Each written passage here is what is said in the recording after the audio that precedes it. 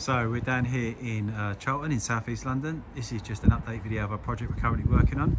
So I'm just going to give you an explanation of what we've done so far. So far we've brick cleaned all the brickwork back to its natural colour, cut out and replaced all the damaged bricks with matching imperial bricks. And what the customer's gone for on this project is our stone restoration package. So what we've done is we've removed all the old paint off of all of the stonework. And what we've done is taking it all back to natural stone. So I'm just going to give you a close up of how that now all looks. We've got a few more indents to do. Um, so get some new pieces of stone made up, put some nice new indents in here. Got a stone pointing left to do. All the window sills all been restored. Looking absolutely fantastic. It's all been tuck pointed, looks absolutely incredible.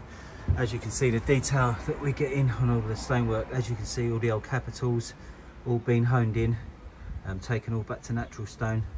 Uh, great benefit of this is the, the house has never got to be painted again, so no more painting on any of your stonework if you do go for this style that we offer. It is a big job taking it all back to stone, um, but the benefits are fantastic. So, um, as you can see, the detail is incredible.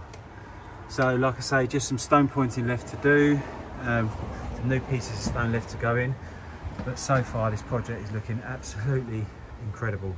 One of our breast projects today, just keep getting better and better. So lads have done a really good job on this one, everyone involved, done a fantastic job.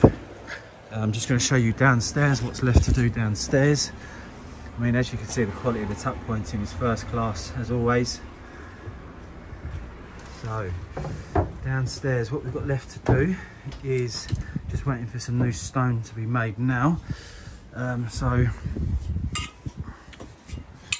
got a new piece of stone to go in at this, at this base here. So get a nice new piece of stone just to finish that off.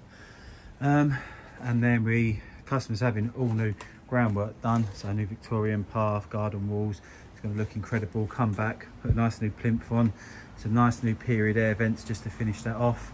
Also looking at retrimming all of the gaps around the windows.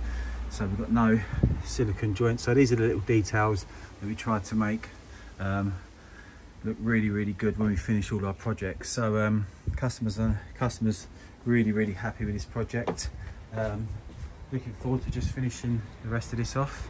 And once again, another project finished to the highest standard as always. So if you do like look, like look at this project and you'd like a free quotation for any of our services that we offer, um, give us a call, get in contact, and we'd be more than happy to assist you with any further inquiries that you do have. Thank you very much.